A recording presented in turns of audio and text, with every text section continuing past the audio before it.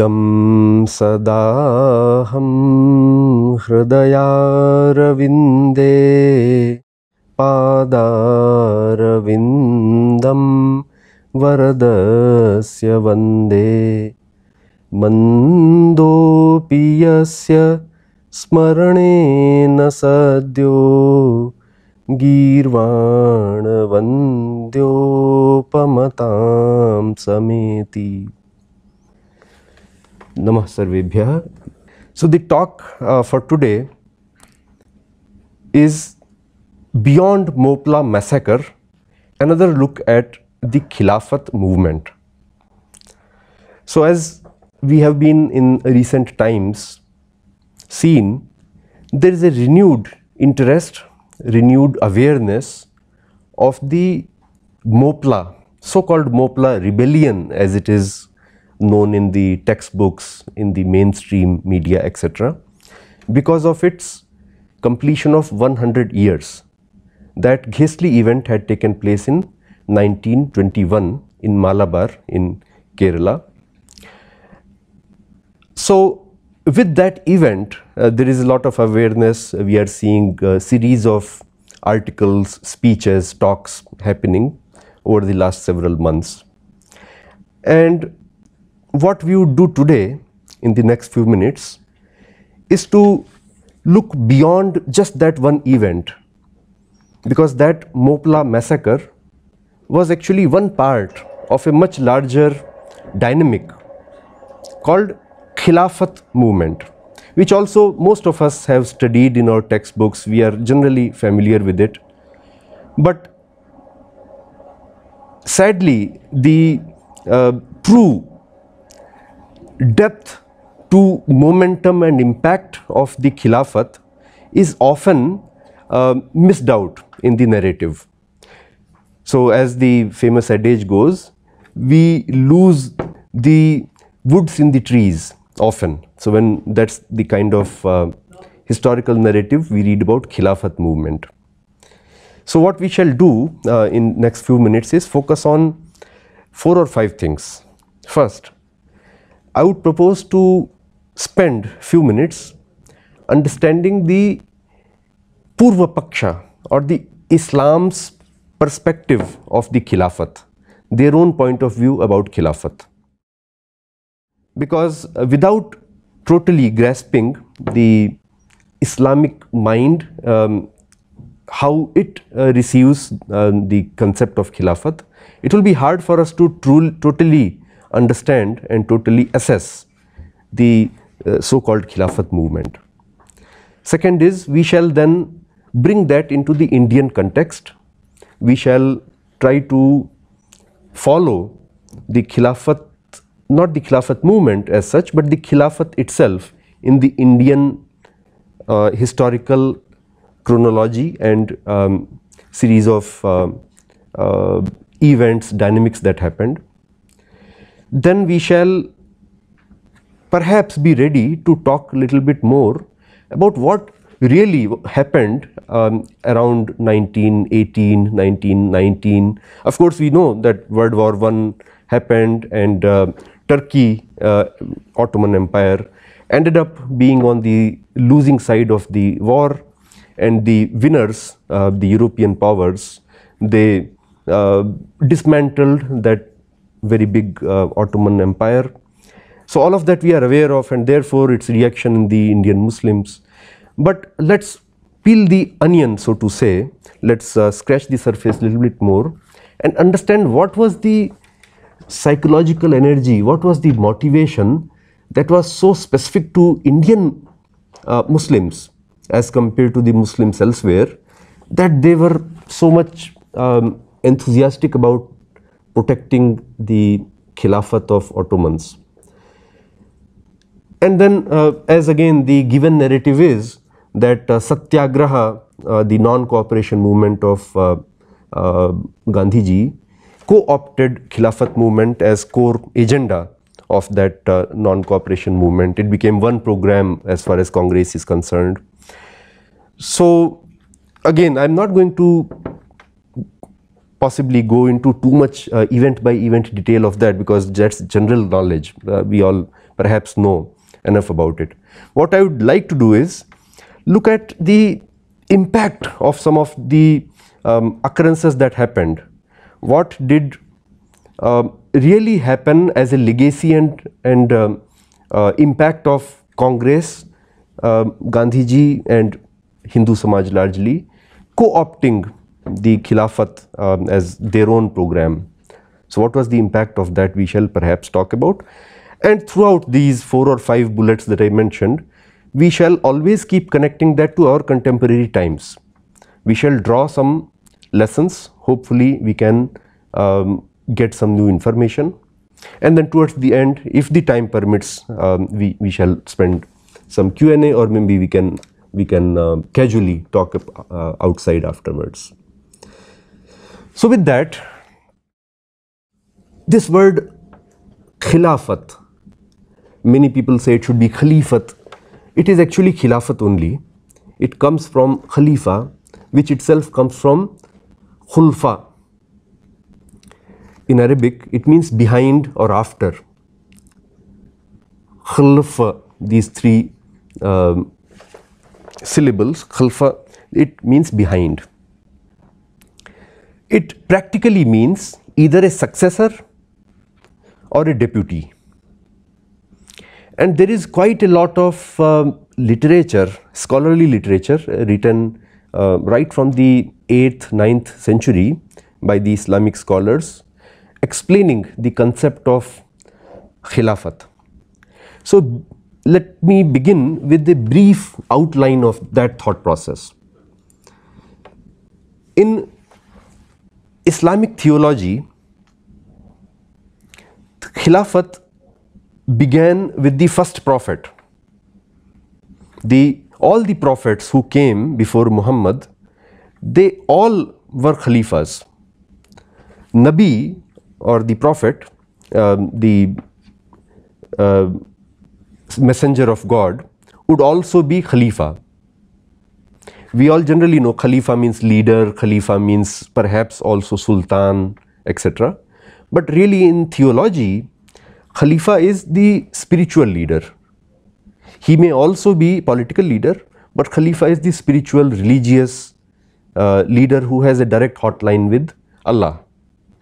So, each prophet by default in itself de jure is also a khalifa.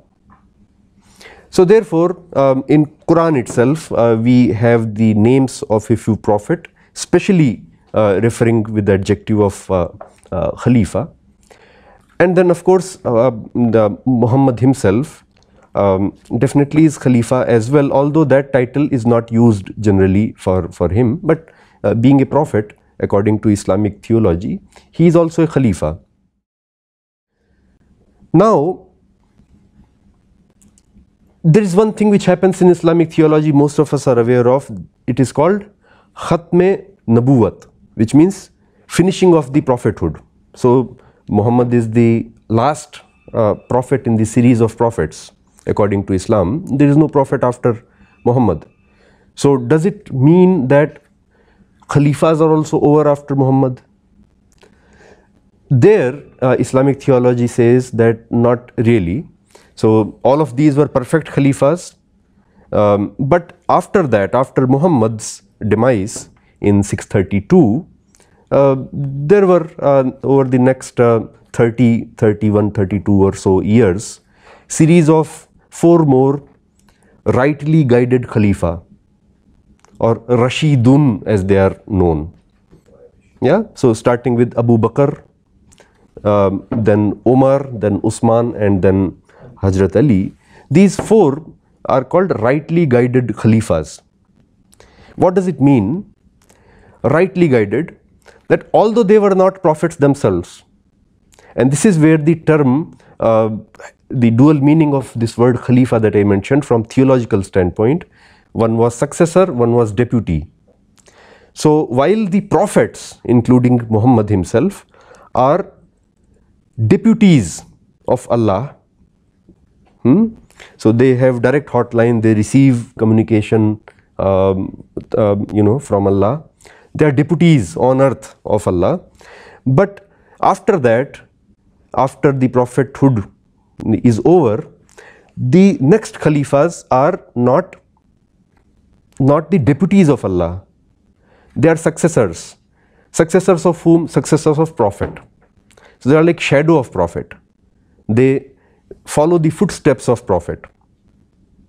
So these four, uh, again, there, there would be a lot of um, lot of uh, variations in uh, the point of view if you go between Sunni and Shia etc about the concept of uh, Khilafat. So I will generalize generalize a little bit and then um, there is also a, a lot of discussion in the Islamic theology about who qualifies to be a Khalifa. So there are generally two uh, schools of thoughts. One says um, generally everybody agrees to that first point. One says that the Khalifa should be from always the Quraysh tribe of Arabia. The Khalifa can only be from Quraysh tribe. So for a long time that was uh, the concept which was there in the theology. So of course all the four um, mentioned they were from the Quraysh tribe. So nobody from outside the Quraysh tribe can become Khalifa or the spiritual leader of all the Muslims. Then the second uh, more strict point of view um, is that not only should the Khalifa be from the Quraysh tribe but he should also be from a smaller clan within the Quraysh tribe Banu Hashim. Now Shias take that stricter position they say that nobody from outside the direct bloodline and family of Muhammad himself can be uh, Khalifa. So they, uh, they, they, they, I will not go into that. I, generally, everybody is aware of that dispute. So I will not go into the detail. But their position is that Khalifa should not only be a Qurayshi, but also from Banu Hashim clan of the Qurayshis. Ali being the husband of the only surviving child of Muhammad, uh, blood child of Muhammad, um, he kind of represents that line and, and so on and so forth. But then after that um, the first four uh, caliphs, Rashidun um, Khalifas as they are called, it was a brief period quite honestly. So from the time that Muhammad became the prophet and till the last year of Ali when he was assassinated, it is only 51 years. So four of these Khalifs plus Muhammad himself as a prophet, it was total of only 51 years. One thing which we should not miss is, again if you ask a general Hindu, even an ordinary average Muslim about what is the source of the um, guidance about life, about uh, um, anything uh, from jurisprudence uh, standpoint or uh, implement in, in interpretation of uh, how the commands of Allah should be followed etc. They would say there are two sources generally they would say there are two sources one is the Quran and other is the Sunnat which is the behavior and the teachings of the Prophet Muhammad. But there is third, there is one more and that actually is the Khalifas, the Rashidun Khalifa, the behavior um, and the actions of these four so-called rightly guided Khalifas. Now let's move forward. Um, the role of Khalifa according to Islamic theology is to several things. One is he is the commander in chief of all the Muslims. So all the Muslim community in a way is under the guardianship as well as under the command of this Khalifa. So on one hand he is the religious and spiritual leader, on the other he is also political and military leader. There is discussion, enough discussion in the Arabic Persian uh, literature, later Urdu literature about specific um, duties, roles and responsibilities of Khalifa. And they range um, on one hand to be very close to uh, being a deputy of the Prophet himself and to the lowest extreme still you can call him the chief executive of the Muslims worldwide at least ideally. Practically however uh, after the Rashidun uh, these four um, Khalifas uh, several series of um, stages happened um, and you had multiple Khalifas at the same time. Even in fact within the Rashidun the first four uh, Khalifs also there was not unanimity even um, at the time of uh, Ali uh, the most respected by Shias even Sunnis alike even at, in, in the um, caliphate of Ali, uh, unanimity of all the Muslim community following him didn't exist. So there was um, tussle uh, even in the time of Ali, but definitely that got so heightened that uh, in different uh, points in history you had multiple caliphs at the same time, one sitting in Cairo in Egypt, other sitting in Baghdad, other uh, elsewhere, multiple claimants and it perhaps was hardly um, a reality ever um, for a very long time that one single Khalifa um, is looked up to by the entire Muslim society worldwide. But having said that, those are the first two responsibilities of Khalifa. Third is he is protector of the shrines of the Islam. So the harems they call harems there are about six very important sites um, of um, Islam, all of them in the Middle East. The Khalifa has control, direct control and guardianship of those shrines. And he therefore also has responsibility to protect the Hajj and you know rituals of Islam from worldwide um, the Muslims are able to um, perform the Hajj and other rituals that's his responsibility and then uh, lastly, he is the one who kind of gives the directions when there is ambiguity about what to, has to be done. So, uh, the Muslim ulama often explain it like um, big circle and a small circle. They give the analogy that uh, let us say horse uh, is tied uh, with a string uh, on a pole uh, it's a let us say 200 meter long uh, rope through which the horse is tied.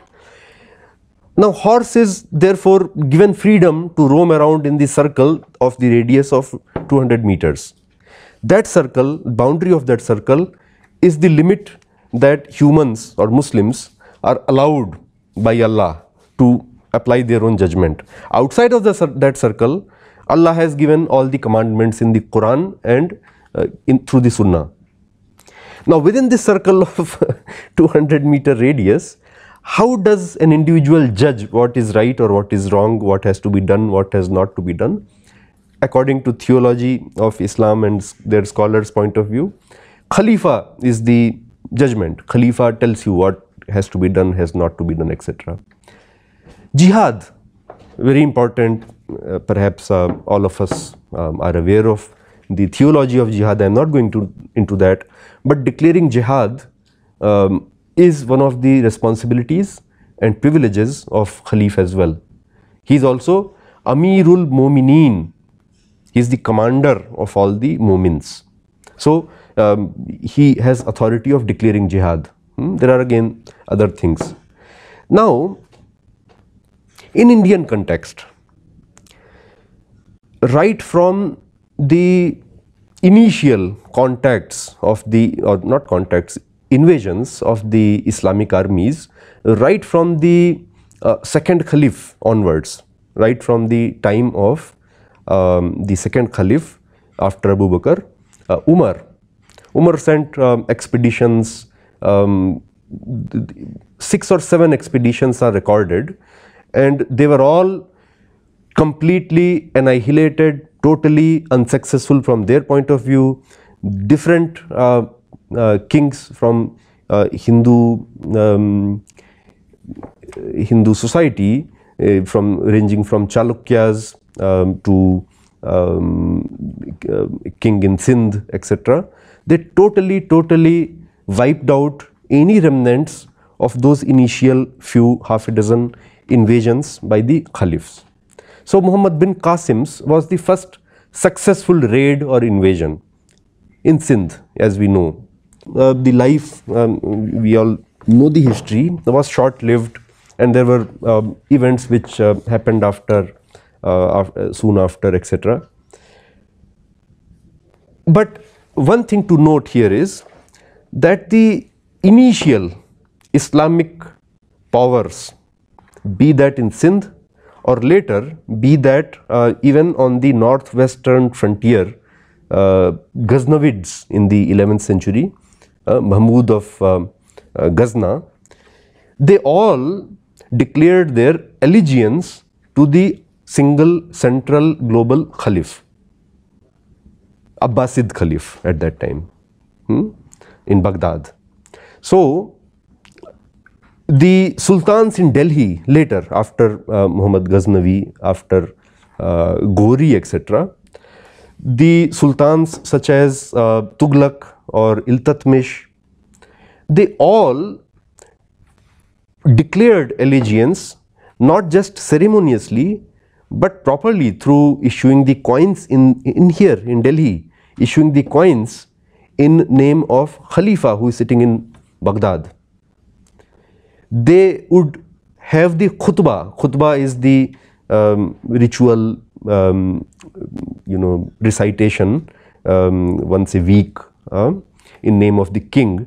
The khutbah would be read in name of the Khalifa. So you can see that all the way up to Mughals that continued. The Indian Muslim kings, not only in Delhi, even Gujarat. So, for example, in later um, Muhammad Shah, the uh, Sultan in Gujarat, he had contact with the Ottoman, uh, the next uh, series of uh, caliphs uh, in Turkey, and they sent an um, sent uh, a naval fleet actually to support him in Gujarat.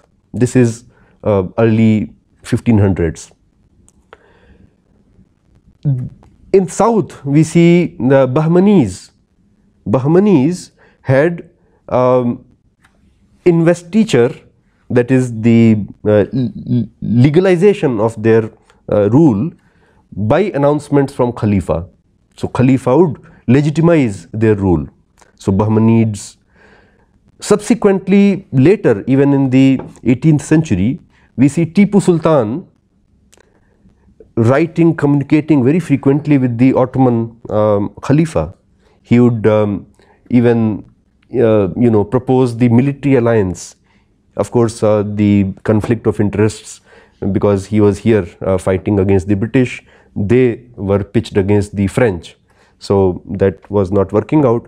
But still, uh, from the jihad standpoint, from the religious, political, ideological alignment, uh, Tipu Sultan would uh, send gifts. Uh, see, you know, he sent like seven or eight hundred people, big fleet. He sent from um, Karnataka. He sent such a huge fleet full of gold and money and so on to um, to Ottoman Sultan or Khalifa. Nizam of Hyderabad. So Nizam of Hyderabad, you may be in, you know interested to know. Uh, after the breakup of this um, um, Ottoman Empire, he um, proposed marital alliance with the Khalifa's uh, family. So the deposed Khalifa passed on the Khilafat um, and um, Kamal Pasha, as we know, Kamal Pasha was the um, the leader in Turkey who abolished the Khilafat. So uh, he he just for token for uh, just a figurehead a cousin of the deposed uh, Khalifa was made the new Khalifa and Kamal Pasha uh, allowed him to uh, go to Switzerland, live there in exile but still be namesake um, Khalifa. That exiled Khalifa um, was um, in contact with Nizam of Hyderabad because Nizam of Hyderabad was the richest Muslim in the world after that Khalifa was deposed. He was the most financially uh, powerful Muslim empire uh, even. And he in fact married his own two sons with daughter um, and niece of um, that Khalifa. And he had ambitions of um, kind of taking over Khilafat in a way. So all that happened. Nawab of Arcot, another uh, example in South India, who would um, receive um, legality of his uh, rule from the Ottoman Empire. There are so many other examples which can be given, but uh, the bottom line is that the Indian Muslim kingdoms, and I have kept Mughals out of this picture for now. I will come back to Mughals. By and large, the Indian Muslim rulers right from the times of Delhi Sultanate, in fact before that um, on the northwest frontier, the Ghaznavids onwards, up to Tipu Sultan and last century, less than 100 years back, Nizam of uh, uh, Hyderabad, uh, they all received authority as a deputy to rule in name of the Khalifa, at least if not practically um, in the figurative terms. So that's one thing to understand. Why it was, how it was, we can discuss. But let's understand that all the Muslim rulers in India except Mughals, except Mughals, I will come to Mughals, they all received authority from Khalifa. So why not Mughals then? That's an interesting question. Lane is a Mughal, of course he didn't rule directly in India, he invaded India. But Temur Lang in the 14th century was the one who conquered the Ottoman Empire. He invaded in 1402, he invaded, totally thrashed the then um, Khalifa.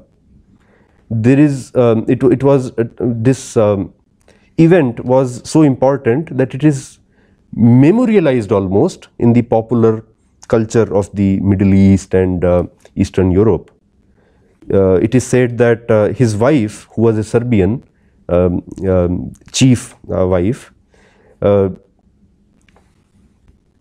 once um, Temur Lung conquered uh, in the war of um, uh, Ankara, defeated the um, Khalifa, arrested him. He put him, Bayezid, first his name was that time, he put him in a cage, in a metal cage. And in public view in his court in his um, armed uh, you know camp army camp he treated the wife of uh, that uh, khalifa um, like a slave girl so she would serve the food and wine and whatnot semi naked uh, to the war camp of uh, generals of uh, Temurlang. Now Mughals, the Akbar and Babar etc., they trace their lineage from Temurlang.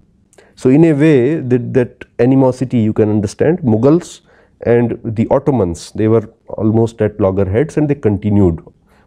I mean, there were, I will come later to the contacts and how that all played out. But to begin with, Mughals considered themselves to be conqueror of the uh, uh, Khalifa, Ottomans. They considered themselves to be Khalifa. As I said, um, uh, at the same time, multiple claimants of uh, Khilafat were there in the world. And Mughals considered themselves to be the Khalifa.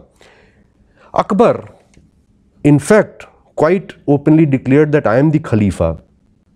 And it is interesting that he was not even properly Muslim. And when he declared I am the Khalifa, he had almost renounced Islam all his practices were against Islam. And after having done that, he declared that I am the Khalifa, I am the authority of Islam in the world, in the world, not just in India, in the world, Akbar's. Interestingly, um, the Sunni Orthodox uh, Maulanas and I think um, even military generals, some of them, they complained to Akbar himself because Maulanas consider themselves the guardians of faith um, and if the Khalifa or the Sultan goes against the uh, ideology of Islam, the Maulanas have an authority uh, as well as duty to complain to the Sultan. So, uh, several Maulanas who complained to Akbar that what are you doing, you are, you are doing kufr and what will the Khalifa say if he hears about your uh, behavior. So it is mentioned in a um, couple of contemporary records that Akbar would scold them. Akbar would say, go and do the job of uh, take salary from Khalifa. There is an, another place, a military person comes to Akbar and uh, says something like this, mentions Khalifa. He says, hey listen, if you want to quit my job and do the job for Khalifa, I will be happy to write a recommendation letter to you, etc. Now, Aurangzeb, fast forward to Aurangzeb, Aurangzeb properly perhaps was a Khalifa in full definition. Of course, he was not a Qureshi or he was not uh, from the uh, Banu Hashim um, clan, etc. But from the roles and responsibilities and the attitude and behavior that is described, most Maulanas of later would agree that he properly was Khalifa and Aurangzeb did in fact declare himself to be Khalifa. He uh, used the title um, Amirul Mumineen um, officially and um, he corresponded with Ottomans and in his correspondence um, as is recorded he never once refers to the Ottoman Sultan as Khalifa or um, any of the titles, any of the even remotely resembling uh, titles uh, which are applied to Khalifa. Not only that, you see his uh, politics, um, he was um, he was corresponding directly, not through the Ottoman Sultan, but directly with the Sharif of Makkah. So Sharif of Makkah is a post. He is the uh, scholar or he is the um, ritual head you can say, keeper of the shrine of uh, Makkah, Sharif of Makkah he is called. So Sharif of Makkah was appointed of course by the Ottoman, it was controlled by Ottoman that whole Middle East. But Aurangzeb would send money and huge sums of money to Makkah, to the Sharif of Makkah directly. And almost every year, sometimes more than once a year, um, gifts, uh, manpower, money, whatnot. Now, Similarly, you can see that um, other Muslim kings in the Middle East, he would have correspondence with. He would even um, um, receive refugee or, or deposed kings uh, in Delhi, he'll keep them lavishly. Almost like he had an ambition of being the Khalifa, not just for India, for the world. So Islamic State, that uh, Islamic State which um, uh, al-Baghdadi was trying to create uh, in Syria. Aurangzeb was trying to do that in India for the world, not just for India. I am just trying to make that point once again for the world, probably. Now, of course, we all know that he couldn't do that because his leg uh, was continuously held back by one person, Chhatrapati Shivaji. And you'd be surprised also to know that in some correspondences he had with the foreign other Muslim rulers outside India, Shivaji figures so Shah Abbas of Iran, he another somewhat powerful king, uh, Shia powerful king. There is a letter which Shah Abbas wrote to Aurangzeb and there he pulls leg of Aurangzeb saying Shivaji you are not able to defeat, you are talking about being the Amirul Mumineen in the world. So um, the correspondence of that thought you can see in the poetry of Bhushana. So Bhushana as we all know um, um, the famous Braj Bhasha poet and contemporary of Chhatrapati Shivaji. In some of his poems, you can find the reflection of it, the consciousness that we shall in fact uh, reach all the way up to uh, Khorasan and um, even even uh, the borders of Caspian etc. The Hindu um, Samrajya would be all that far. Anyways, not to digress, so far, the point of the discussion was that Khilafat, being an institution more than a person, institution where it's a central Islamic authority from spiritual religious standpoint but also political and military standpoint and that authority having such a deep shadow in India including at the time of Aurangzeb the ambition being of an Indian Sultan to be an independent Khalifa for the larger Muslim population in the world. Okay. Now what happened? So let's now fast forward. What happened that abolition of the Ottoman Empire by the British became such a huge, such a big um, reaction point for the Indian Muslims. Why such a big reaction? For that, uh, we should once again go back to after Aurangzeb. So, soon after Aurangzeb passed away, the Mughal Empire very quickly, very, very swiftly disintegrated as we all know. And at the same time, the Hindu Samrajya, of course, um, initiated by the Chhatrapati Shivaji and then his successors, his followers, continued to expand, continued to expand. And by the end of the 18th century, we see a situation that the map of Bharata is almost totally saffron. There were pockets. Uh, so, for example, uh, you still had Nizamul Mulk um, or his successors in Hyderabad, which will become Hyderabad soon. You had um, pockets uh, in Bengal, in Awadh. You had a little bit um, in um, Ruhelkhand, as it is known. But other than that, Rajputana was totally freed up. Of course, Mewar had not de facto ever surrendered to Aurangzeb um, or Mughals. Even the others within the Rajput um, um, uh, area had revolted against Aurangzeb in his own lifetime. So Durgadas Rathod and then followed by him the Rathods.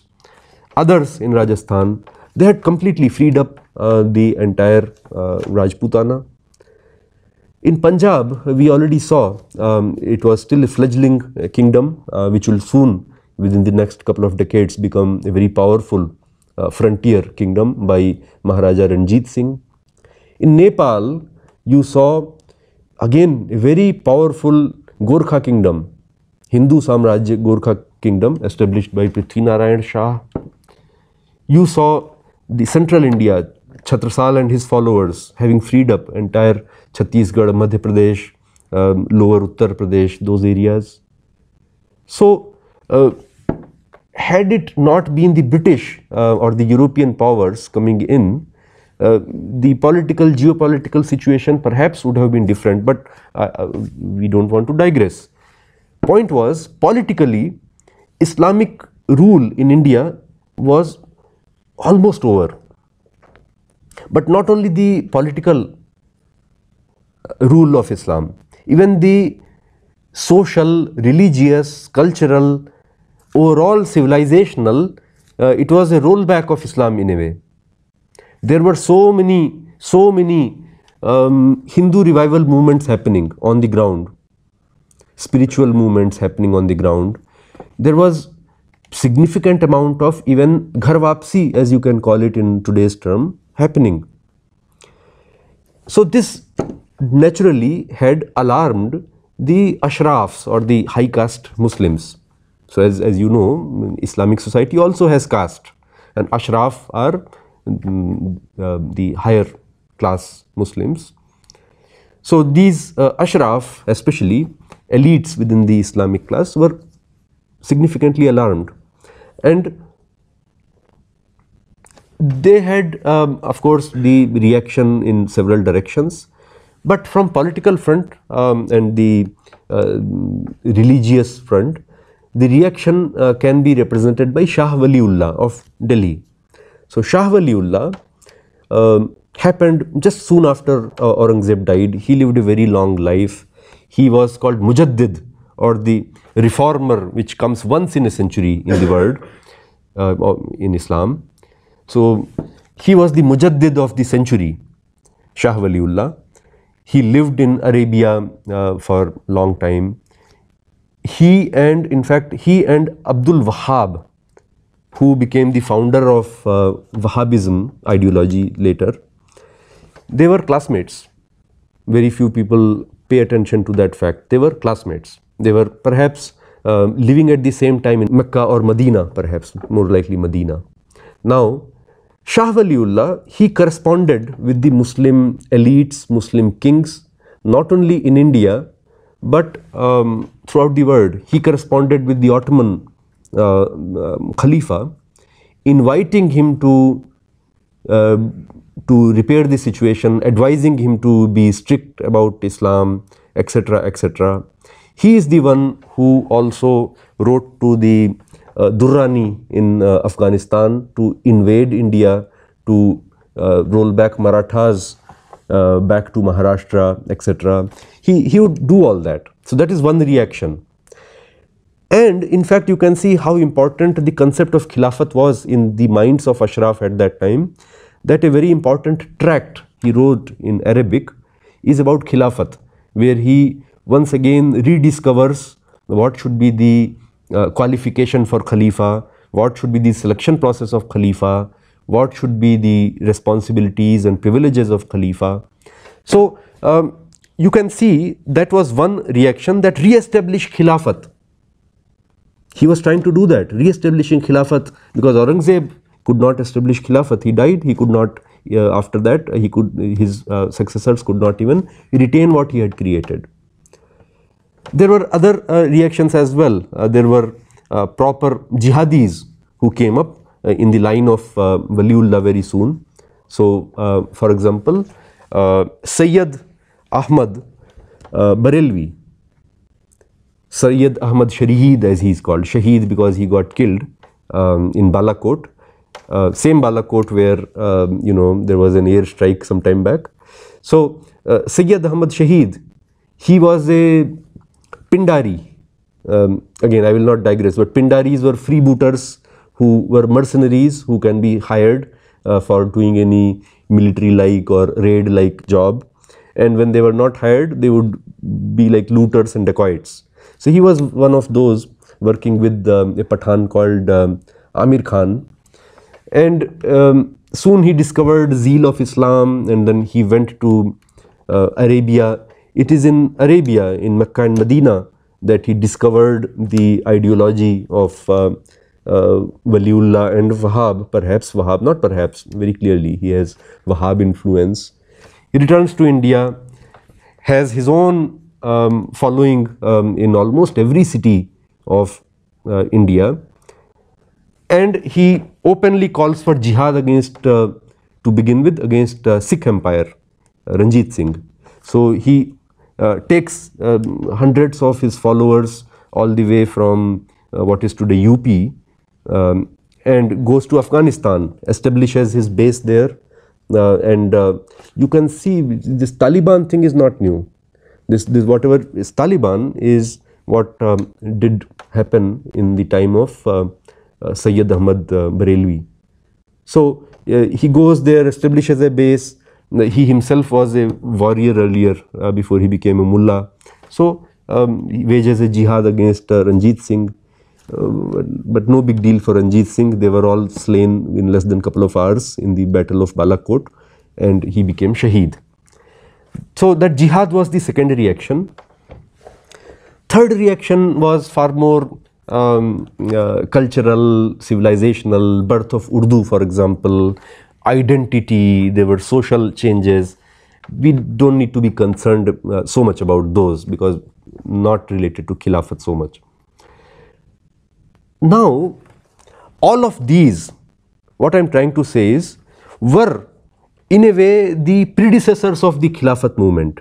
All of these dynamics, all of these currents which were happening are what first, um, and they were all unsuccessful. One after the other, after the other, each of these efforts were completely unsuccessful, including uh, the, uh, the invasion of Durrani so while uh, Durrani successfully uh, won the battle of uh, third battle of uh, Panipat, what, what did he really gain? Not much really. Within less than 5 or 6 years, all the territory was once again captured by the Marathas and Sikhs and Jats and Rajputs. So um, not much uh, happened despite all the effort. And then came the Europeans. 1857 itself the first war of independence, if you once again critically analyze and if you look at the behavior pattern, look at the source speeches, letters, texts, even the writings in the newspapers, you would realize that as far as Muslim participants were concerned in 1857, for them the chief motivation was re-establishment of Islamic political power in India, re-establishing Khilafat in India which they had lost soon after the death of Aurangzeb. Now, after 1857, after having failed to establish, to achieve their aims, many of the participants, direct armed participants of 1857 were actually the founders of organizations like Deoband Madarsa. Not many people realize that. Deoband Madarsa was founded by direct participants of 1857 in Delhi. Having lost, they went to the town of Deoband, they established Deoband Madarsa. And thinking behind that was not just religious, not just spiritual scholarly pursuit, no, not at all. It still um, was that we are losing, their thought process was that we are losing uh, one after the other political battles, military battles, initially against Sikhs and Hindus, now against British, is because we are perhaps not good enough Muslims. Allah is not helping us. Allah has after all um, promised help to the Momins in war against uh, uh, Kafirs. Why are we not receiving that help? Reason is we are not good enough Muslims. So, what should we do? One section of those participants of 1857 Muslim participants, especially the Ashraf, the high caste um, um, participants, their answer was that we have to do internal reform, religious, social, cultural, spiritual reform. Now, this word reform, do not get confused. Reform as far as Islam is concerned does not really mean changing the foundational core of their ideology at all. If anything, reform means going back to the roots, roots being the ideology as taught and practiced by the Prophet Muhammad and his immediate followers, Sahaba, and more particularly the rightly guided Khalifa, the Rashidun, the four Khalifas. So, this whole thought process Deobandi and then Tablighi Jamaat would be born several decades later. Uh, there would be so many other Jamaats uh, of ulama uh, would be created um, and there are regional variations. There would be slightly different uh, reaction in South India. There is this little bit uh, different reaction in um, Bengal. But all of this was Khilafat movement I call it. Okay. Moving forward, when the advent of the first world war happened,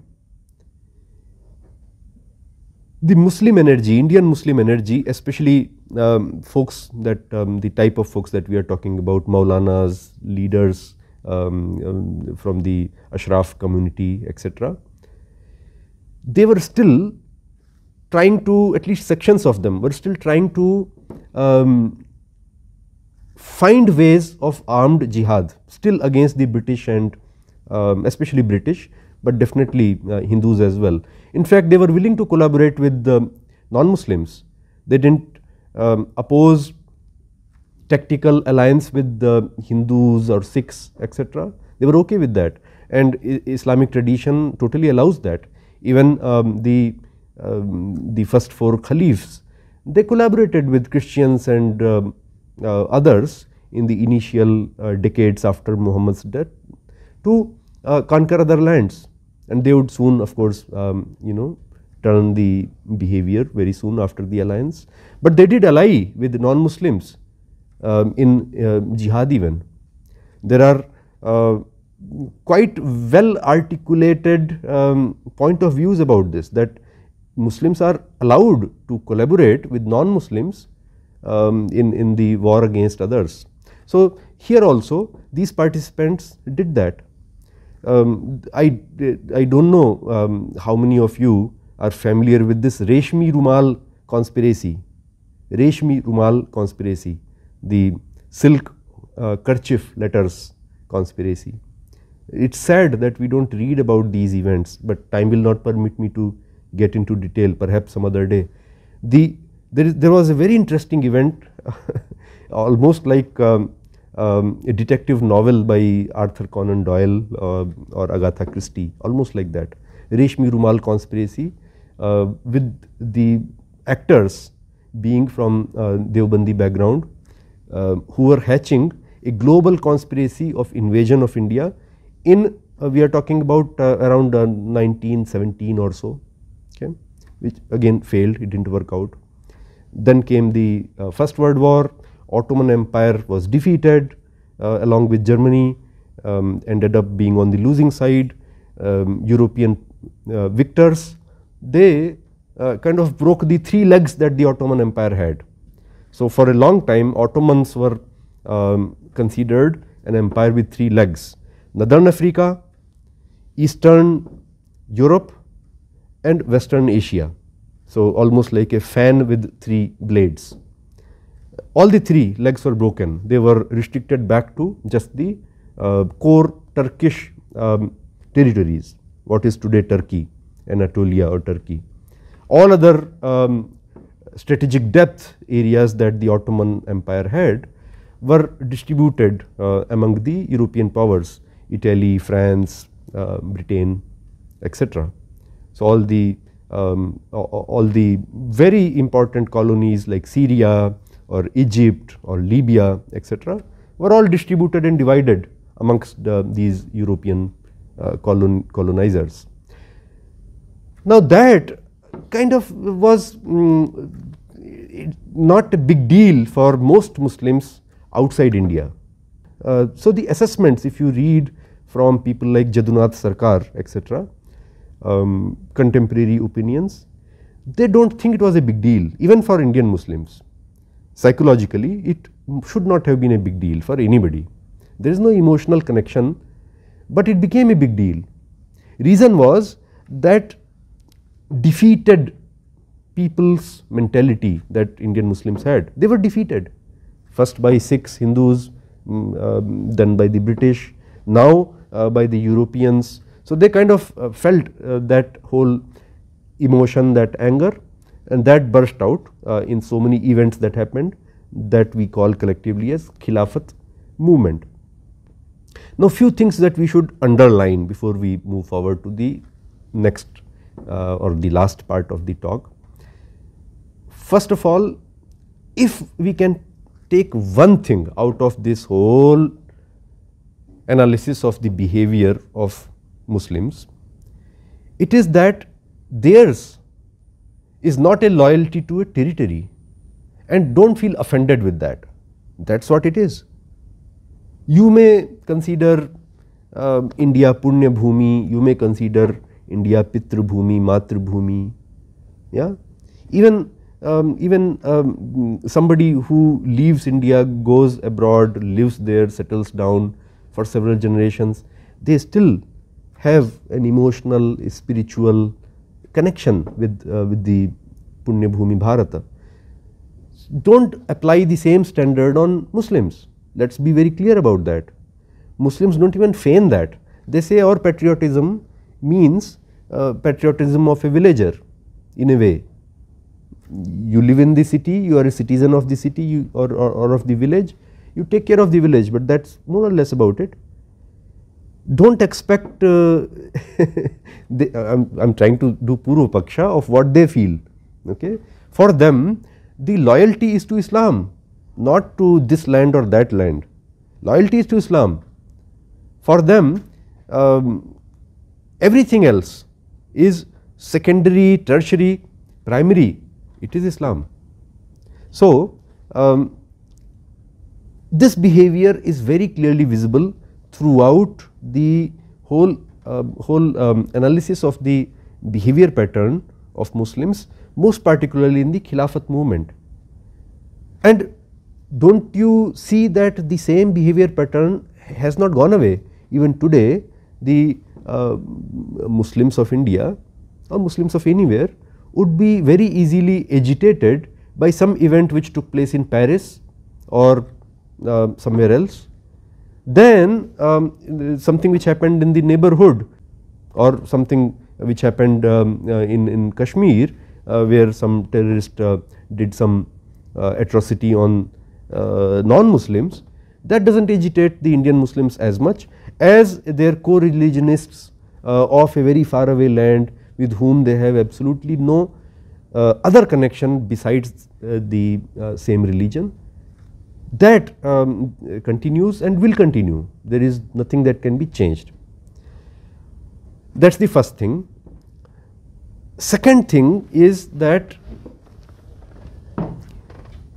we have to very clearly also understand why are we Hindus not motivated uh, towards um, looking beyond this immediate um, struggles that we have. Why do events that happen on Hindus let us say in Fiji, they are also um, not only your co-religionists, they are also uh, actually same ethnicity. Some event which happens in faraway Trinidad and Tobago or Suriname does not agitate us that much perhaps as uh, uh, it does the other side. So, perhaps we should uh, uh, think about it, perhaps we should learn something from them even. Yeah. So, that is the second thing. Now, anyway coming to the Khilafat, uh, I will not go into the details which so many other articles, speakers um, have already covered. All of us are aware of those um, happenings that um, the Ali brothers, hmm, uh, Muhammad Ali and uh, uh, his brother, they kind of created um, a whirlwind of um, um, movement out of this with support of Congress party, Mahatma Gandhi, but do not again mo most people focus only on uh, Mohandas Karamchand Gandhi. He was not the only one, do not forget that. In fact, uh, if we once again uh, slow down and study it a little bit more even before Gandhi sad to say um, even Lokmanya Tilak had made a small mistake perhaps the last thing that he did in his life was um, a pact in Lucknow where a lot of such similar concessions were given to the Islamist sentiment. Gandhi was not alone, Gandhi was the biggest uh, proponent of this idea, but he was not alone. Second thing um, also we should look at uh, the situation which was prevalent in the Hindu society at that time.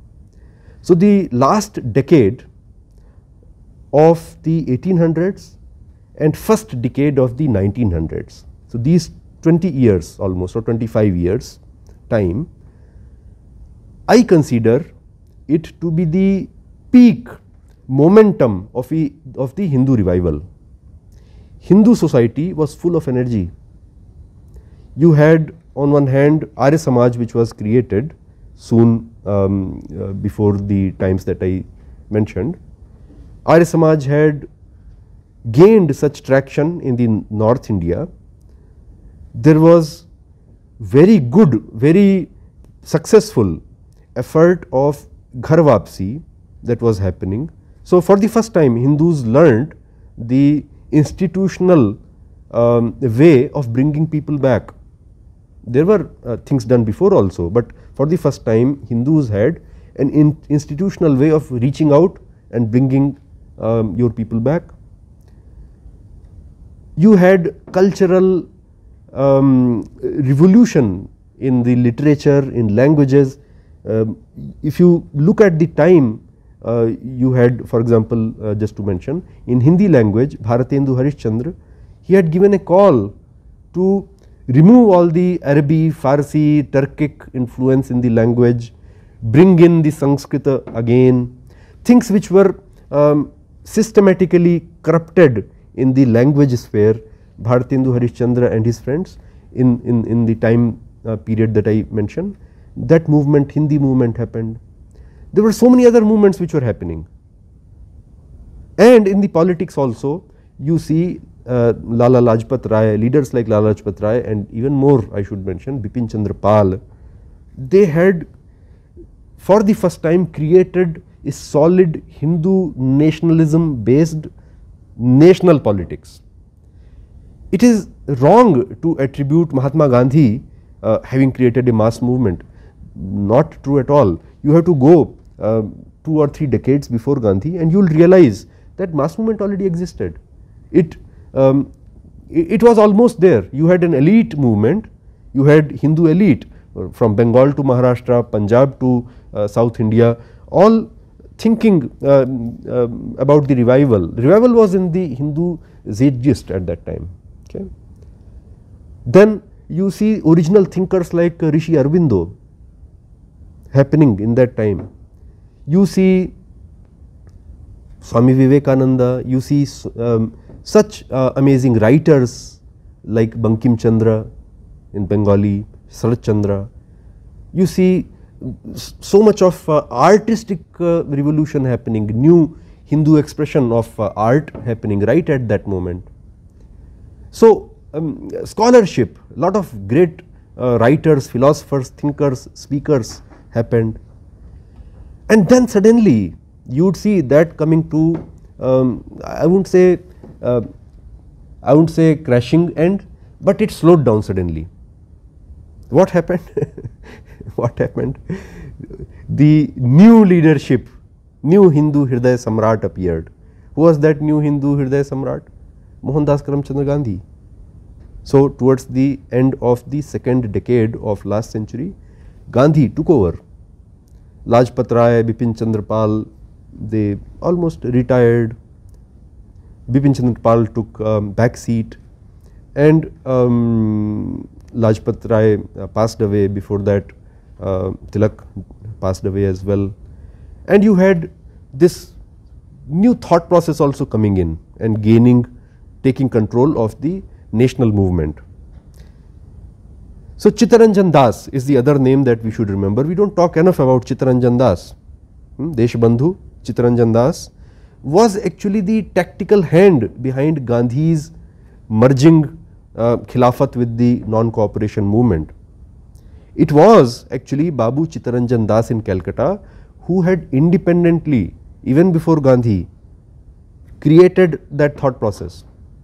In Calcutta in Bengal uh, there was before communal award there was something called communal award, but in Bengal um, after the partition of Bengal uh, was defeated in 1911 which was a great victory for Hindus. They defeated um, the communal partition okay it was a state partition, but they defeated it. It was a great mass movement do not it was a mass movement. All the revolutionary activities that you see later in Bengal were born out of that. All the uh, all the um, personalities that later became famous as the great revolutionaries they came out of that movement.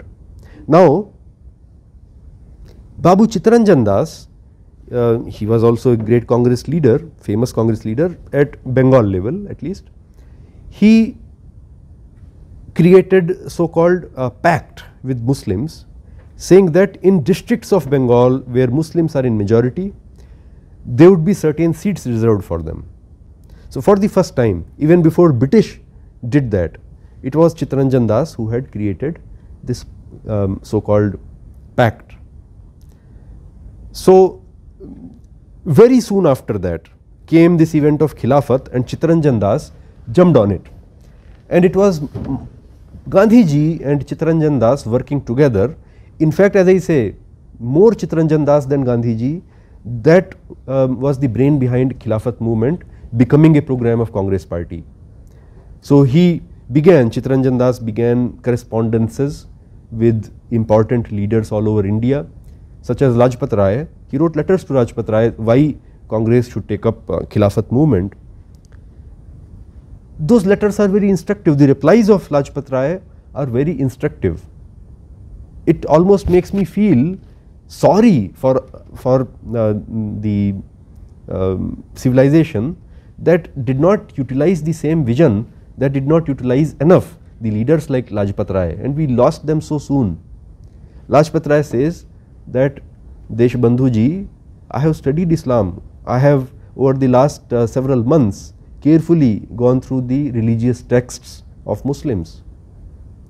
I, I am okay to trust Muslims. I am thinking that uh, um, Hakim Ajmal Sahab, another great Muslim Congress um, uh, leader, I trust him, he is a very good Muslim. But can he go against the teachings of Islam? Can he go against Quran and Hadith? Against the uh, ordinances, actions of the Rashidun Khalifa, the four Caliphs? He cannot. You can see the clarity of thought, but Lajpat Rai couldn't convince uh, Das. Sharat Chandra, the great novelist Sharat Chandra who wrote um, who can be called grandfather of the Indian novel. Yeah? Sharat Chandra was a personal friend of Chittaranjan Das as well.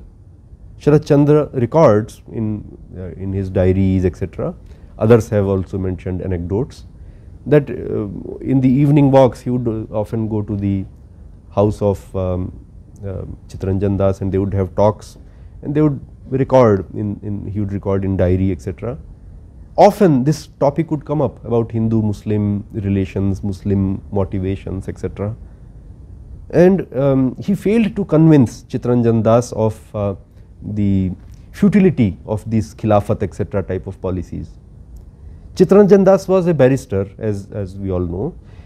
What many people may not know is he was the barrister who got Rishi Aurobindo freed from the Alipore bombing case of course, he had to be exiled, so he went to Pondicherry, etc.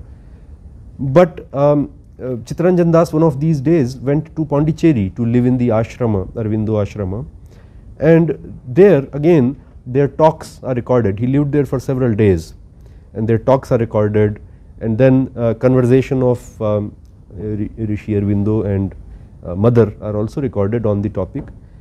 And Aurobindo says, I failed to convince him about the futility of all this it is almost like uh, they have made it um, a, um, a, priori that um, unless the Muslim approval is taken on the national movement, unless the Muslim participation is secured in the national movement, national movement should not happen. It is so surprising. In fact, if we go back to the birth of Congress party, Indian National Congress by A. O. Hume, initial papers back in um, uh, 1885 etc 80, 80s late 80s papers correspondences. The leaders of congress party they are saying that we should run some schemes uh, to get some muslims. Why are there no muslims in congress party? And of course sir sayyid ahmad khan of uh, aligarh he had he had created a parallel movement the movement of um, two circles. And he said don't join congress party. Don't uh, ally with the hindus on on this kind of uh, platforms etc and um, anyways the point that i was trying to make was chittaranjan das mahatma gandhi they almost made it necessary that leave everything aside all that momentum which I was mentioning Hindu nationalism or nationalism itself of course Indian nationalism is Hindu nationalism as Aurobindo says that there is no other nationalism Indian nationalism is Hindu nationalism Rishi Aurobindo said. So the momentum which was created which was at uh, peak after the 1911 defeat of um, communal partition of Bengal that whole thing was halted lost momentum given up for what? For this um, so called uh, communal harmony, bhaichara, brotherhood etc. And Khilafat was the first um, most visible big size, big scale uh, program that uh, this, this, thought process kind of implemented. So, in any case um, Congress leaders like Gandhi ji and uh, Chittaranjan Das they continued in this um, in this uh, philosophy that first priority should be the so called bhaichara, winning approval and cooperation of uh, Indian Muslims etc. There were dissenting voices we should not forget. I mentioned Lajpat Rai.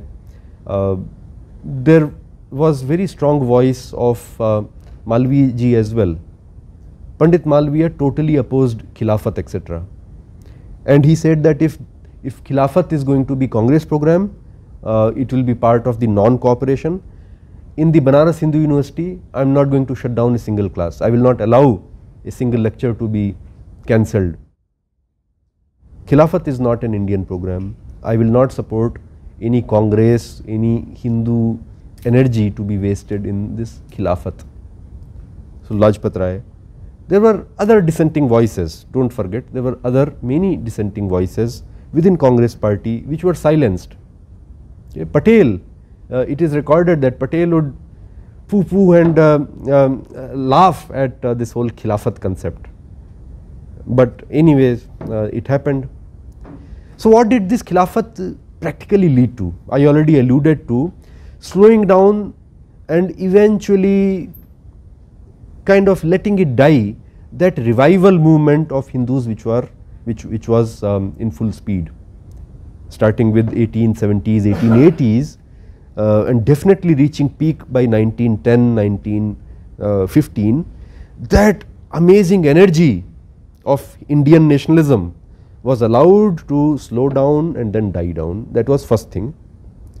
Second thing which the Khilafat movement so called did especially Congress taking that as part of its own program was giving a platform ready made platform organizationally to the most fanatical sections of the Muslim community especially the Maulanas who are very soon very soon in the next uh, decade or two to emerge as great leaders of Muslim League. And very soon the youth brigades and youth uh, Khilafat uh, uh, organizations which were formed in every city and every state, these youth committees were the rioters factory. They created these, these uh, organizational units in Calcutta, in Lucknow, in Kanpur, in Delhi, in Kerala, in Hyderabad, wherever. These so called Congress youth, they, they very soon they were the ones who led the direct action um, of um, Jinnah very soon. That was the second thing that happened. So, to mention a few things, few, few names in context of Bengal for example, um, what would happen? The Ali brothers and Gandhi they would tour together city to city, they would tour and Congress volunteers, they would go home to home, both Hindus and Muslims and say please join Khilafat committee. These local Khilafat committees many times their presidents, secretaries etc. would be Hindus, wasting their time and energy in re-establishing Khilafat, Islamic rule in India, not even bothering, not even bothering to read explicitly written stuff about what will be the place of Hindus in that Khilafat. It is explicitly mentioned what will be the place of non-Muslims in Khilafat in, in Islamic state and Hindu spending time, energy, money uh, uh, in, in Khilafat committees. So, they would go home to home and in that recruitment come join Khilafat committees, join this movement. Uh, just to mention a few names, Abdullah Halil Baki of Dinajpur, Muniruz Zaman Islamabadi of Chittagaon, Maulana Akram Khan of 24 Parganas, Shamsuddin Ahmad Kustia, Ashrafuddin Ahmad Chaudhry Tipra, all of these names I am giving you, they became Congress leaders. They became Congress district presidents or uh, functionaries like that in addition to Khilafat uh, committee secretaries and all. They gained popularity, they gained um, organizational network, they gained um, um, other resources required and within less than 10 years they all became, they showed their true colors. Even Suhrawardi, for example, Suhrawardi, the uh, prime minister, it was called, not chief minister, prime minister of Bengal at one time, Suhrawardi, uh, he was ally of uh, Das and Subhash Chandra Bose. They fought elections together and they considered uh, in, in, the if you read the speeches of Chittaranjan Das and Subhash Bose also, they use such flowery language for Suhrawardi. And Suhrawardi, in fact, he was a lawyer, he fought cases, personally he fought cases of the Muslim rioters, gundas who had killed hundreds of Hindus in the slum areas uh, during the um, Calcutta rioting. Suhrawardi personally contested the, um, got them out of jails. Suhrawardi uh, presided over the direct action day, the great Calcutta killings. And he was Bengal um, Khilafat um, uh, movement leader. So you created leadership like that. You gave your platform, Congress party gave its platform for these kind of leaders to become leaders, to become, um, to operate their agenda. So that's the other thing. Now, I would like to end with one very important speech of Sharat Chandra Chattopadhyaya, as I said, grandfather of Indian novel. Hmm? So, in 1926, soon after this Khilafat craziness was dumped and dead, he it was it must have been a historical event that he was invited to give a speech in a Congress session in Congress party's session in Haripura. So, he delivered uh, a historic speech addressing this issue that we are talking about today. I would like to read just a couple of paragraphs from it, sele selections from that speech. Why? Not because of what he said at that time about the events of that time, because what he said at that time is as relevant today for the policy makers of today. The policy makers of at that time they did not listen to Sharat Chandra, they definitely did not listen to him. I can only hope that we listen to Sharat Chandra today and our policy makers take some heed to what he said.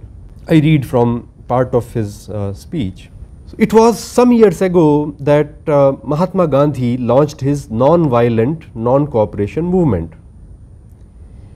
Now many leaders loudly proclaimed that Hindu-Muslim unity had to be achieved whatever the cost.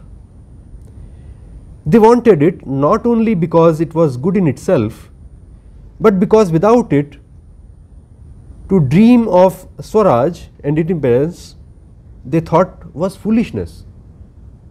They won't even think about Swaraj and independence without Muslim support. They can't think that you can independently do something. Hindus lost everything in an attempt to find the magic grail of togetherness, brotherhood countless time and energy was wasted in this pursuit. It resulted in the Mahatma Ji's Khilafat movement and in Deshbandhu Ji's pact, whose hollowness is unsurpassed in Indian politics. Khilafat movement from the Hindu side was not only pointless, he says, it was false, it was fake.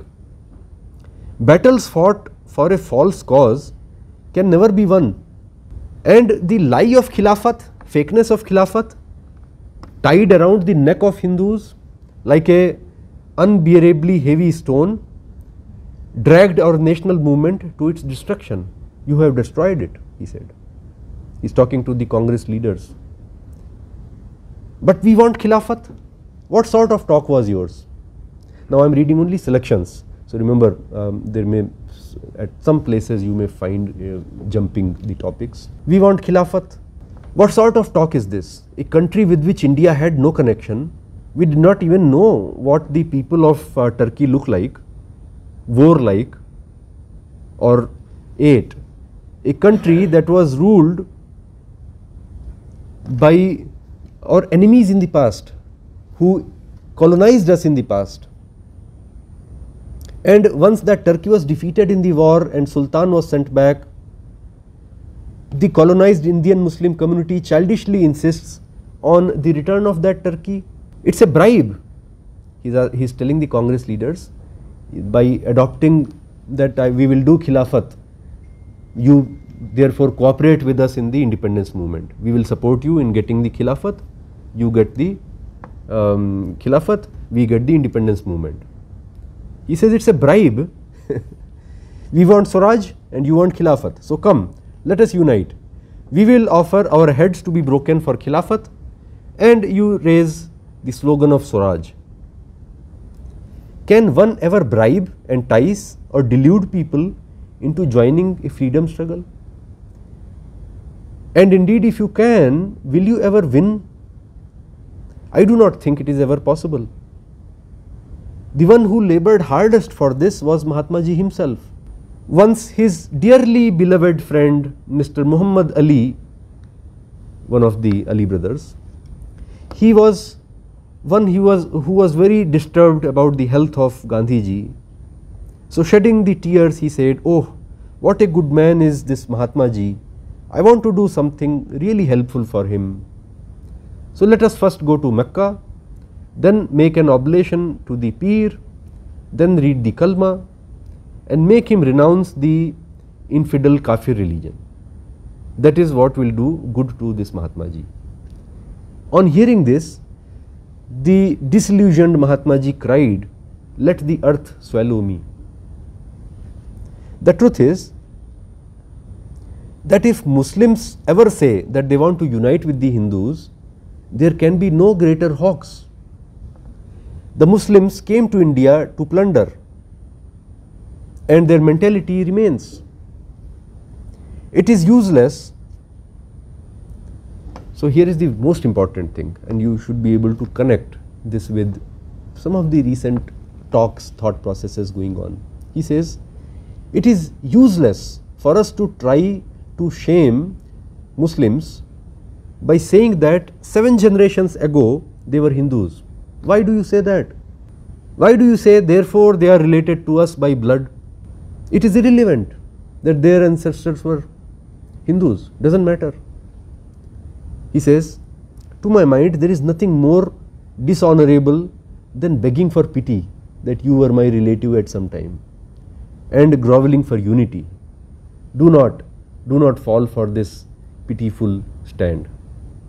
Anyways, this is uh, Sharat Chandra about Khilafat movement in the paper he presented, um, speech he presented in a Congress session and I consider um, this to be still relevant for us today. Um, I will um, perhaps we can conclude the time would not uh, allow us to uh, go any further, but um, I hope we touched upon most of the points that I had in my mind. Um, once again the agenda was to fill in the blanks. There is a lot which has been spoken in last few months, few weeks about uh, Moplah, Khilafat, etc. There were a few things which um, had to be still said. I hope uh, I was able to say that. Thank you. It's clear that uh, for Muslim, his uh, religion is first priority and everything you said is secondary and tertiary. Oh, wonderful. So far, so good. But then it's also very interesting to know that though they say they are not really interested in territory, to see what's happening in Middle East. Every Muslim country is fighting with every other Muslim country. Of course, there are sects and things. Now, how are these two, what you call, uh, planes getting adjusted? That is, loyalty to Islam first and no territorial ambitions. Vis-a-vis fighting for territory in the Middle East and outside. So, uh, I think there are two parts uh, to that question, sir. One is what explains first of all so much of infighting etc. Uh, within the uh, Middle East uh, and second part of that perhaps is how does that that uh, kind of uh, intra Muslim strife um, reconcile with the so called first priority to Islam. I think first thing we need to understand is that as far as a Muslim mind is concerned, the definition of Islam for him is somewhat very straitjacketed and tight. And somebody that falls outside of that definition by and large is a kafir even if the other party claims to be a Muslim. For example, within the Khilafat movement, you may be surprised to know that Ahmadiyya community took a major part. Ahmadiyya community, so there is a book called, um, I forget the name, but um, it, its English translation is called Blessings of Khilafat. And the Ahmadiyya, the, then the Ahmadiyya leader, he um, declared himself to be the Khalifa. So, he used the concept of Khilafat, but not this Khilafat movement, he himself being the Khalifa. Now, that whole uh, Ahmadiyya sect who were as fundamentalist as um, your other um, Deobandi type of uh, Sunni Muslims as fundamentalist to Islam, they are considered non-Muslims by officially by Pakistan. In fact, some of the murders of the Arya Samaji leaders in Punjab back in late 1800s, Pandit Lekhram etc., were done by the Ahmadiyyas. Arya Samajis in Lahore etc., in Punjab, even in UP, there were other such things which happened. So, even in the creation of Pakistan, by the way, creation of Pakistan, I should mention as well, was continuation of Khilafat movement.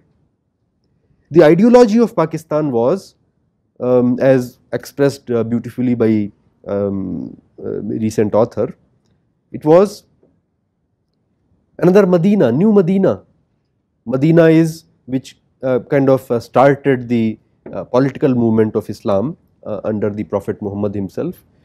Medina became the um, sheet anchor for the spread of Islam. Uh, he did uh, hijrat from Makkah to Medina and that event really created everything. Creation of Pakistan was that the image in the mind including of Jinnah, including Iqbal, including all the uh, ideological forefathers of Pakistan was Khilafat. They were establishing a Khilafat not just for Indian Muslims, for the world. They were creating a launch pad of renewed Khilafat and I did not go into some other uh, legacy of Khilafat. But after this Khilafat movement um, fell flat uh, on its head and I am sorry I, I not answering your question I got in so many other things. But um, I still want to mention that legacy of Khilafat um, was democratization of Khilafat. So Khilafat is no more uh, a sultan, it can be democracy and still a Khilafat. Pakistan, even even um, you know theo democracy um, uh, type of um, arrangement. So Khilafat continues and Pakistan creation was a continuation of Khilafat movement. The state of Pakistan um, at least in theory was a new Medina from where the uh, revival of Islam for the world not just for subcontinent for the world would take place. Now coming back, so uh, one part of the answer is that as far as Muslims are concerned, their particular sect is the true Islam. Outside of that sect, they are Gumrah. If not Kafir, they are at least Gumrah. And it is um, in, in a Muslim, not ordinary Muslim, but Muslim uh, scholars or Maulana's mind, it is very important to bring uh, these people to the right path, these Gumrah people. And that can be done by force also. So, one um, zeal of um, uh, implementing your version of Islam over others is one thing. The other is natural politics. So, um, um as, as uh, again in context of Khilafat, Indian leaders, uh, um, they went to meet Kamal Pasha in Turkey. So, um, Kamal Pasha, he abolished Khilafat in 1924. These people before he did that, they, they came to know that they are about to do that. They went to Turkey to meet with him and plead with him to not do that. So he said, uh, What is it to you? They said, Okay, you abolish this dynasty, Ottoman, you uh, establish a modern uh, Khilafat, you become the Khalifa. We are ready to accept you as Khalifa, you become the Khalifa. So he laughed and he said, Okay, um, tell me one thing. If I become the Khalifa, let's say I become the Khalifa, or all the Muslim rulers in the world going to consider me their head? Are they going to uh, do what is called bayat? They have a bayat which is declaration of uh, allegiance to me. Then there was silence. They, of course, they will not. Why? Because um, at a political level, Khilafat as an institution was really over. Ottoman was um, simply just a ramshackle uh, remnant of, of Khilafat. True Khilafat was finished long, long time back. Hmm? So, all of these Muslim states are independent, they fight with each other. Um, part of that is regular politics, just like any other state. Hmm? But um, mm, at the same time, when it comes to non-Muslims, they unite, do not forget that. They may have thousand differences amongst themselves, but when it comes to non-Muslim, they will unite. So, do not mistake that ever. But uh, one thing which uh, I should still mention is uh, on that um, trusting the Muslims thing.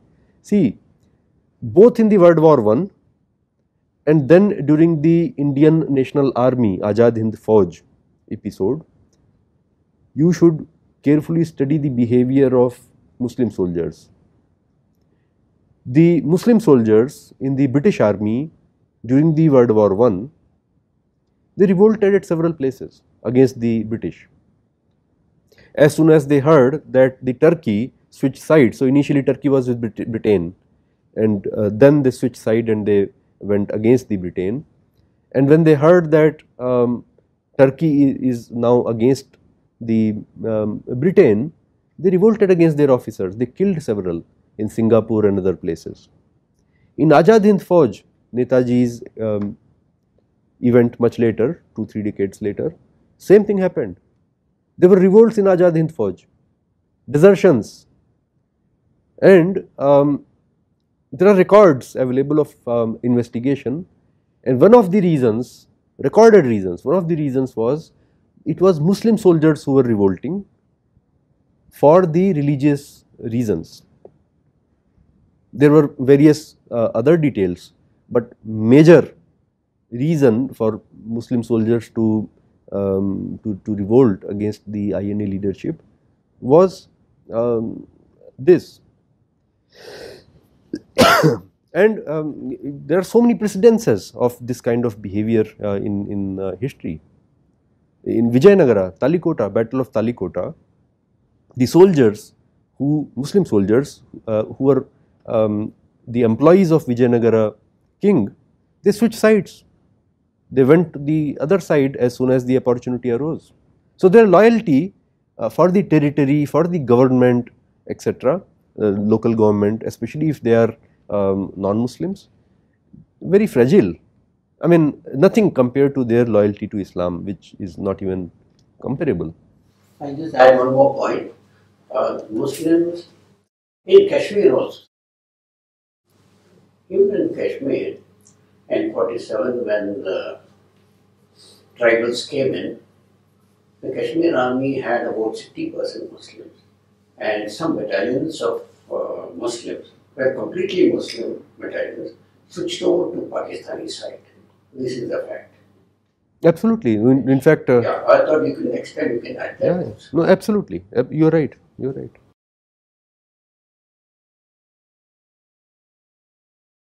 Maharashtrian narrative of Muslims. In fact, there are posters being put up in Pune and Mumbai that Shivaji Maharaj established mosques.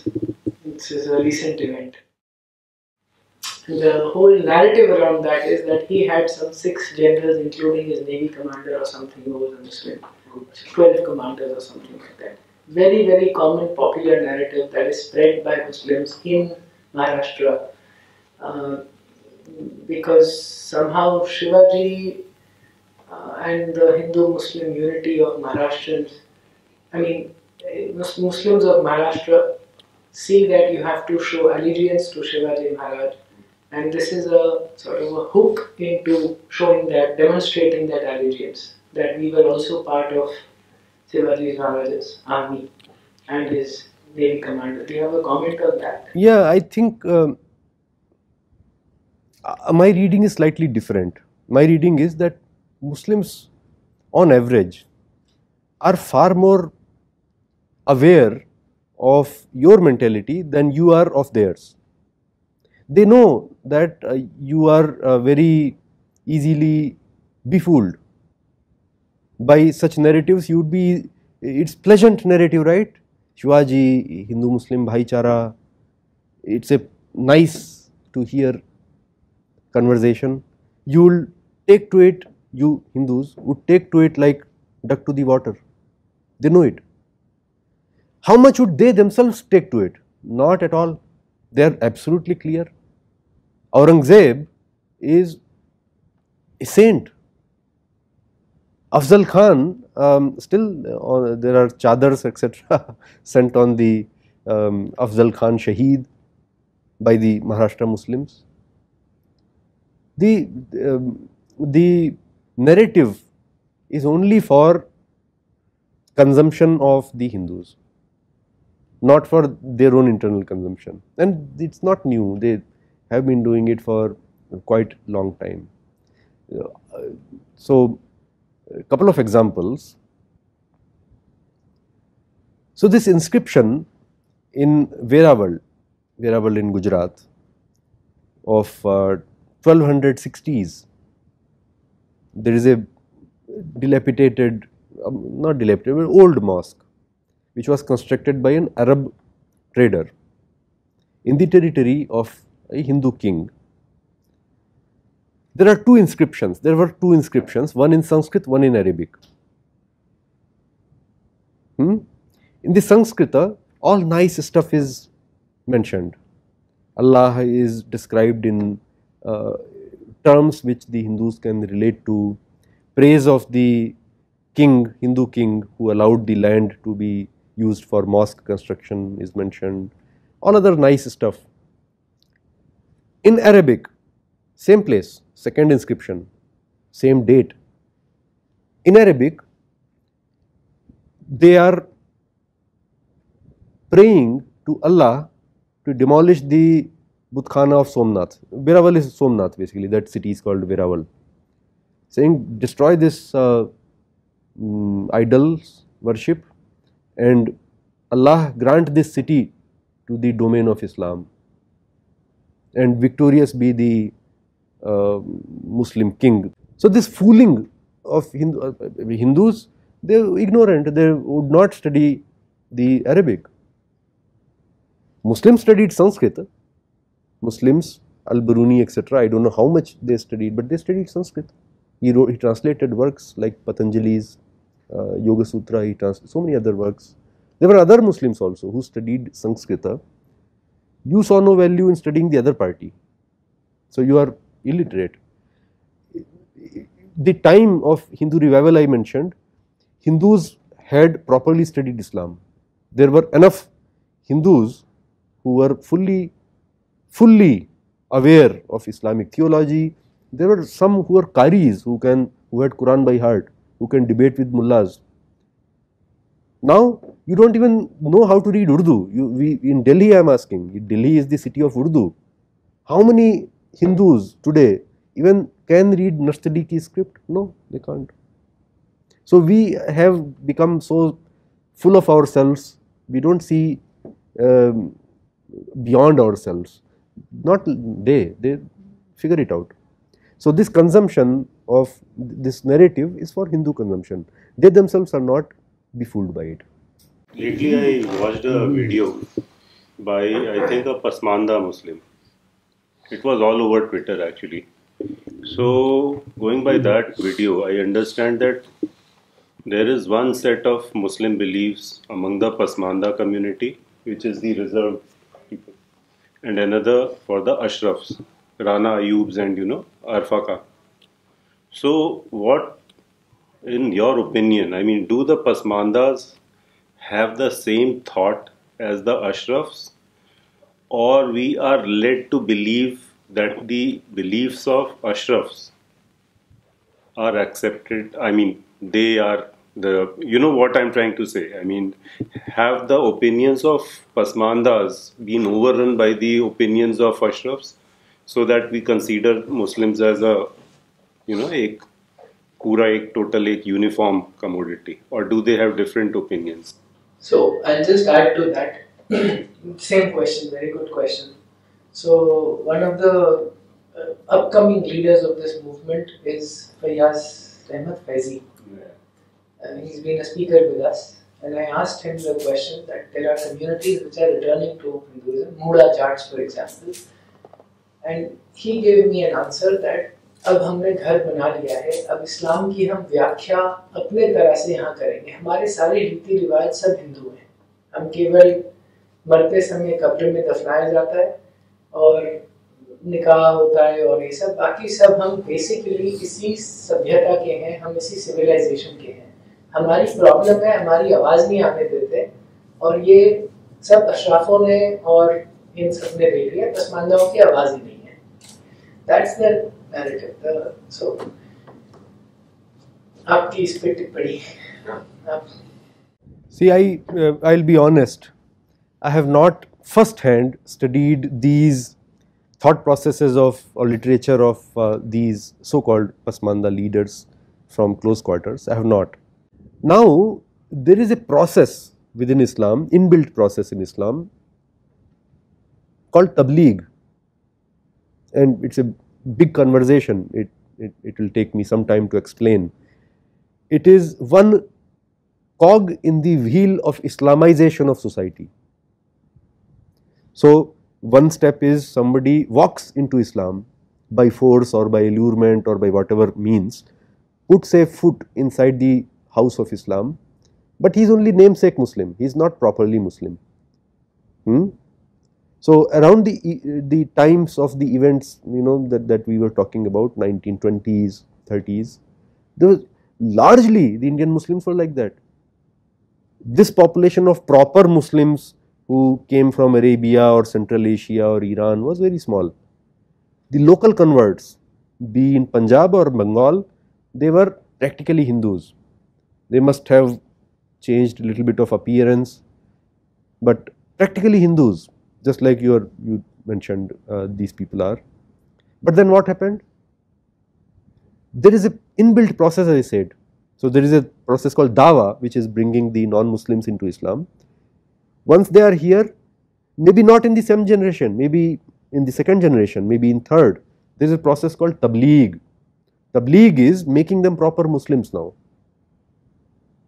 It is a process. Tabligh is a process after dawa, making them Muslims. There is another parallel process of Sufis. I will not get into detail, but tabligh is an ongoing process. So, these people may think that okay we no no no there is a process they will have to slowly change to the proper Islam. Islam will there is an inbuilt check and balances. You consider Islam as a uniform body. It's not uniform body, but I am saying mm, within Islam, uh, if somebody says that I will retain my way of life which That's conflicts, not possible. So that's what I'm saying. You cannot reform Islam. Ah, so Many people have come and gone. Powerful dictators like Akbar failed. Who are you? No, not possible. You either take Ghar Wapsi, come back to Sanatana Parampara. So, you either make a proper Ghar Wapsi or you, you anyway will become Muslim. If you don't do anything, you will anyway become proper Muslim. Sometimes it takes several generations. So, the founder of Tablighi Jamaat, hmm, uh, Ilyas, Maulana Ilyas, this was the specific uh, problem statement that he was trying to fix here in neighborhood of uh, Delhi and Haryana, Mewat, in Alwar, this area, Alwar district, not very far from here. He, Meos had a very large community. They were for several uh, decades, for several perhaps couple of centuries, they had been converted to Islam, but they um, were still following their Gotra system. They were still many of them vegetarians. They had their Kuladevata, Kuladev Devi, all of that intact. So he created a little more formal structure of bringing them to proper Islam. The ex-Muslims, there is an entire movement of ex-Muslims growing. Any comments on that? Are they they are becoming atheists. Quite a few are sort of returning to Sanatan Parampara. Um, but mostly they are atheists. Very scientific, if you like. But uh, basically decided that Islam is not for them. This is a hate religion. It's a growing global community. North America, India, it's hidden because they are threatened too much. But Sri Lanka, uh, even in uh, Europe, very very strong communities. Any comment on that? Yeah, it definitely is growing and it will grow even more, I believe. जो Oman है, Oman is not that Wahhabi these are proper Wahhabis that also by the way are relaxing अभी उस, उस limit तक नहीं पहुँचे हैं but there are indications that Wahhabism हाँ on the decline they may be little more relaxed under majority not Wahhabi but majority Sunni Hanafi interpretation no in there Hanafi interpretation um, Hindus or minorities as long as they live within the Sharia they are protected their temples are allowed temples you can have you will be second class citizen in Khilafat there is no Maulana Azad or any Muslim leader, no Muslim leader will say that when Khilafat comes, Hindus will also have a voting right. So I mentioned already that Khilafat is a democratic Khilafat now. Pakistan, for example. hmm. Now Pakistan has Hindus have voting rights, but uh, they are opposing that. So the Khilafat proper, Hindus um, or non-Muslims can only be um, second class citizens, at best what is called dhimmi, no voting rights.